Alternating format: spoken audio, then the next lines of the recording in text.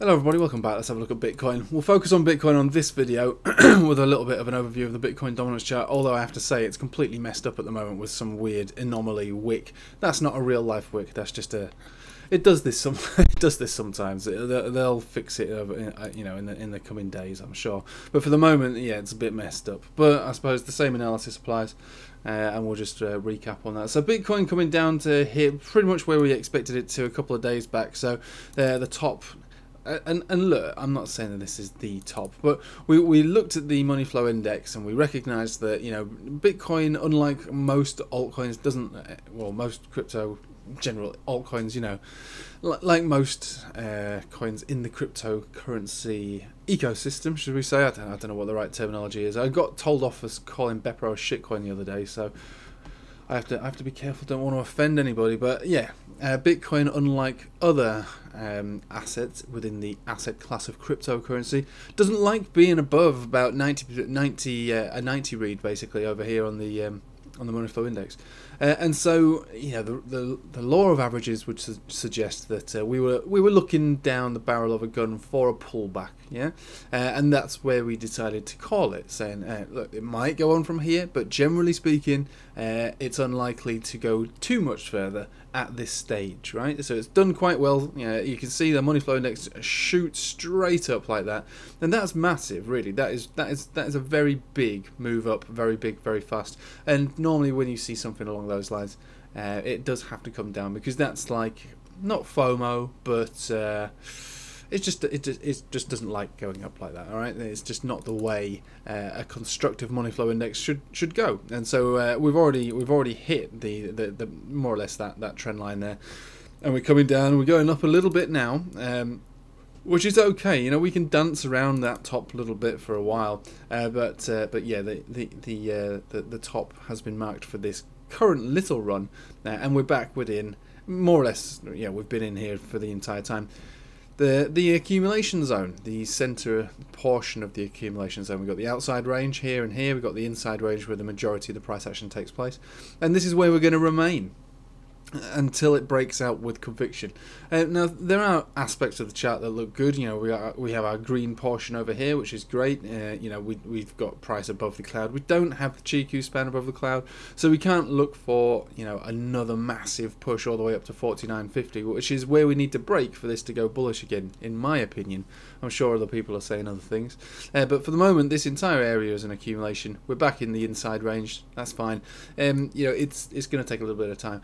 So that's Bitcoin on the daily coming down still. Look, it might even come down further. We you know we did have a, a, a bottom area target for this pullback to come down to, which is basically the center of the Bollinger Band, the 20 daily moving average, about as of today 35,500, and that is still plausible considering that the money flow index is, is still quite high. We've got the MACD turning down quite steep in a way, um, momentum shifting. We also on the four hourly, if we go down to the four hourly, um, we still have that uh, bearish divergence playing out. That that could easily have played out by now. Could easily have played out. Um, and you know, I'm not I'm not suggesting that uh, that this is uh, anything other than just a temporary pullback after such a nice big move up. Uh, but that's that's basically what it is. So we've got a descending channel here. We all know what happens with descending channels. They break to the up more often than not. Uh, so the RSI is likely to remain in this kind of vibe and, until um, until it bounces um, and, and breaks out. And that's fine. Money flow index on the on the four hourly though heavily oversold. So like I say, it's a difficult place to trade in an accumulation phase. Um, so it could go up, it could go down. The daily favours further downside, the four hourly favours a bit of upside. Um, you know, conflicting information there, and, and, that's basically what accumulation ends up being like, to be honest. It just ends up being that way. Now, if we just go down to the four hourly, what we'll have a look at here is alright, so we've broken down below all major moving averages, also, um, sort of, I suppose, pushing the outer rim here of the Bollinger Band. Uh, and this does lend itself to a further push down to about 36. So there are other areas, you know, of specific interest where we could bounce from if we do continue to break down. Now, the main impact of all of this, I suppose, is going to be on altcoins. So we looked on the live stream, uh, it might have been the last time we looked at it, that um, the the uh, the amount of money that's flowing into the market at the time. So this was last uh, Saturday when we were looking at this. Basically, half a trillion dollars had entered the market in a, uh, 12 day period. So within within a two week period, yeah, half a trillion. And that money had pretty much entered the market equally, which is why we see alts and Bitcoin going up uh, with a little bit extra moving into Bitcoin, which is why the Bitcoin dominance chart had been on a bit of a rally, um, and now it's now it's pulling back. Again, this chart is a fine mess, I have to say.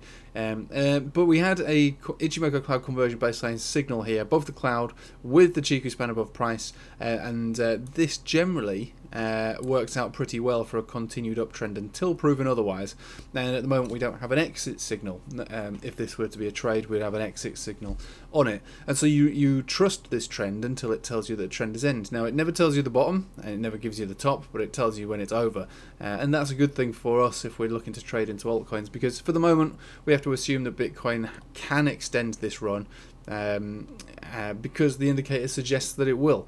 Um, but when the run is finally over, um, it doesn't mean that it'll come collapsing right back down, but it gives us an idea that uh, that that one specific trend uh, has finished, and not that a downtrend will then ensue, but alts will have a little bit of power at that point. Now, I'm personally looking to uh, to, to get in on some more alts, or should I say, I mean, I have been picking up a few alts, you know, uh, recently.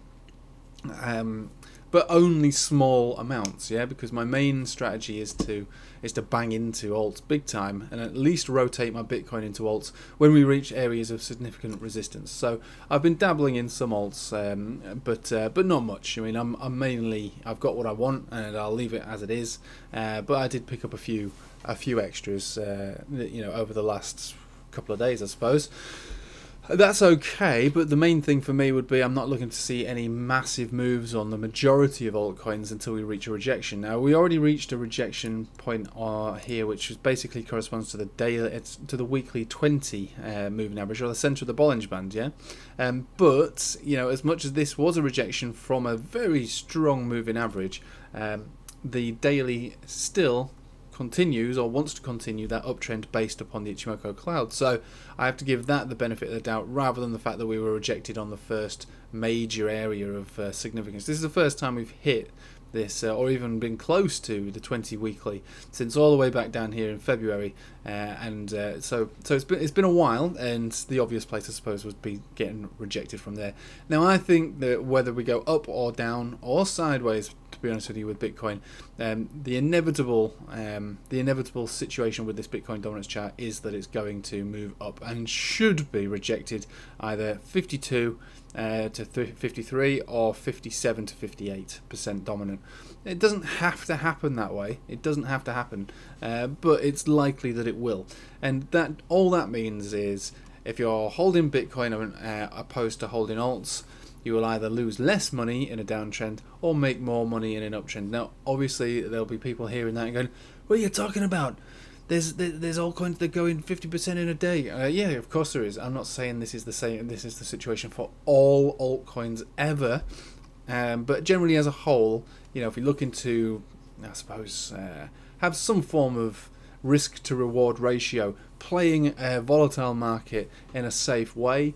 I like to always reference the Bitcoin dominance chart to see which side has got the most power, which side is, more risky. And to be honest, since uh, since for a long time now, all the way down, to be honest, at least uh, on our way getting down closer to here, um, it became more and more and more obvious that the, the longer you hold alts, um, the more deadly it could be.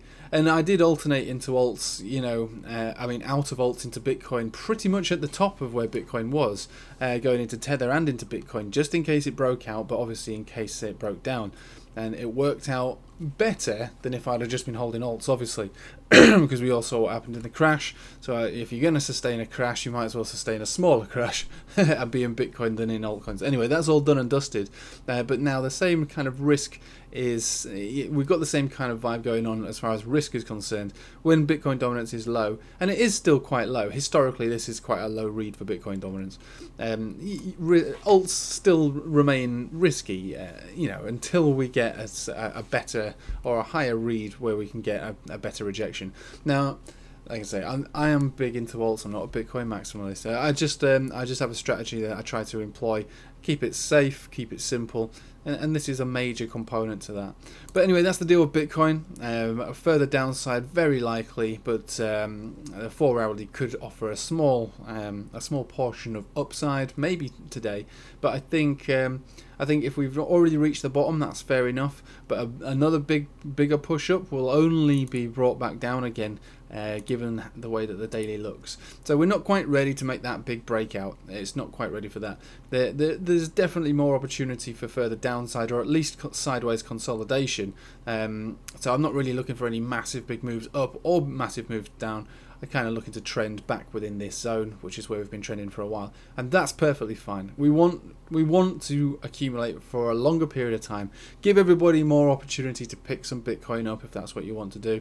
Um, but again, while in this accumulation phase, there's always risk that it could break down. Always, of course there is. And just because we've gone up like this so far uh, doesn't necessarily mean that it's going to recover and go all the way to the moon. So there is always that risk. So it's always worth thinking about that. That yeah, we're back in here. We've had a nice big move, but you know, in downtrends, you, you know, you can have big moves. In in in bear markets, you can have big moves, right? So this is. I'm not saying that we're in a bear market or anything, but I'm just just letting you know. This is the 2017 into 18 top. You know, that was your, I suppose, a dead cat bounce. This was a, a, a breakdown, and then you know, imagine seeing this. You know, when you wake up. Whoops uh, imagine seeing that when you wake up. Um, that uh, that feels like everything's okay again, doesn't it? I mean, I suppose. I mean, I was around at the time, heavily skeptical throughout, to be honest with you, especially because you should have seen what was going on with altcoins at the time. But I mean, you would you would feel relatively okay to say, all right, finally the bottom is in, and we have gone up a hundred percent. And then hang on, oh, not that, oh bloody, hell. That's okay. We've double bottomed here. Okay, we're going back up again. Uh, it's okay. It's okay. Don't worry about it. And whoa, all the way down. So these things can happen, right? So we're not out of the woods yet. We're assuming that the bottom is in, and we're assuming that this is still an accumulation zone, uh, and we're assuming that everything is going to pan out okay towards the end of the year. Um, but you know, assumptions, you know, they can be deadly, and so we just have to tr uh, treat this, you know, day at a time. Nice, calm, casual, and relaxed. Now, in the favour of the bulls, we do have a nice four-hourly death cross. Uh, Whoa, is that a Freudian slip? We've got a, uh, a four hourly golden cross. And as I said when we got this, I said, do not be at all surprised if this uh, golden cross gets dumped into, because that that is generally what happens with golden crosses. Um, we, we get a golden cross, there's a nice big rally, then there's a dump down into it, and then it continues. Now, this is only a four hourly. Four hourly golden crosses, you know, they are worth something. They are the start of potentially a, a, a decent trend, uh, but it doesn't mean we can't dump down into it. Um, and uh, we know we look at lots of altcoins especially on the on the live stream. You know the patreon live stream it became almost like an expectation. Get a golden cross get a run get a dump down into it continue the run and uh, and and uh, and basically that's where the run really begins. You know that's where the big moves really begin. So the the same methods could be applied here because it generally you know, more often than not, that's how these charts often play out. So this is your golden cross, this is your dump. If we get a dump down to the 2 exponential, it's actually quite fine. And uh, I wouldn't say it's healthy, but it's almost pretty normal behavior. Um, so again, I'm not massively concerned about the, the price. All I'm looking to um, put across here is that we're still accumulating in the inside range. And until we break out of the outside range, that's when we go bullish uh, as in like really, really, really bullish. And I did think that we'll be in this period here for you know the, the majority of the summer. Last time I checked, still pretty warm outside. So uh, as far as I'm concerned, we're just gonna have to leave this one to play out. But be cautious of alts definitely, um, because as as the market is generally trending as one, with Bitcoin and money is being distributed evenly into the alts and into Bitcoin, it wouldn't take much for a shift if Bitcoin breaks out and the Bitcoin dominance to uh, to increase, or if the market took another di uh, uh, deeper dive down back to 33,000 uh, for money to leave alts, you know, twice or three times faster than Bitcoin. But for the moment, boring, sideways, up, down. The only place it's not going to go is left. I'm not looking for big breakouts, nor am I looking for big breakdowns. So in many ways, there's not really much point of me making this video because uh, there's not a great deal more to say about that. But uh, like I say, I'll make some other videos today. I've got a bit of a day off today, and uh, and I will after I've done the washing and the hoovering and the ironing, I will uh, I will make another video. Thanks for watching. Take it easy.